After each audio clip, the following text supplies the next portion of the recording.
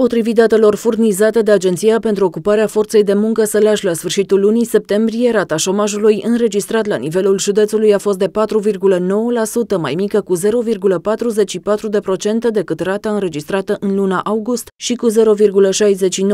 mai mică decât rata înregistrată în luna septembrie 2012. Numărul total al șomerilor înregistrați la finalul lunii a fost de 5156, a scăzut cu 463 de persoane față de luna precedentă procentă. Din totalul șomerilor înregistrați, 2208 sunt șomeri indemnizați, numărul lor fiind în creștere cu 120 de persoane față de luna august, în timp ce numărul șomerilor care nu beneficiază de indemnizație a scăzut de la 3531 la 2948, fiind mai mic cu 583 de persoane decât în luna precedentă. Creșterea numărului șomerilor indemnizați se datorează în principal solicitărilor de către absolvenții aflați în căutare de loc de muncă a indemnizației de șomaj. Ponderea șomerilor neindemnizați în numărul total al șomerilor este de 57,2%,